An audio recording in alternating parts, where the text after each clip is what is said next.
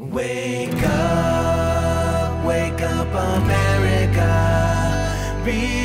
Track number two, it is Wake Up America. I wrote this song just before I became a naturalized American citizen, 2005. And uh, this was pretty much my desperate warning to America that we are at the last few days, the last few minutes before midnight. When I wrote this song was 2005, but as you can see now, we are at next level. We are losing pretty much everything. We've been uh, morally bankrupt, uh, economically bankrupt, politically bankrupt. I mean, uh, we are close already to enslavement.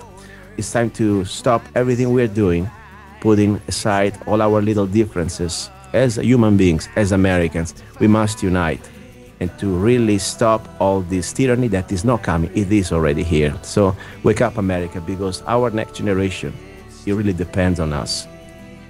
they're to make you fade away. They're to kill your faith. The truth has died. The media bias lies. They want to divide the enemy inside. The enemy inside. Brainwashed from too much TV. You're getting weak. You're getting bleak. They're trying to sell you jobs.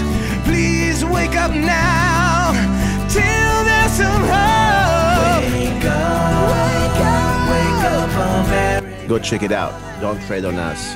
Musical lyrics by Gianluca Zanna. It's too late. They're trying to make you fade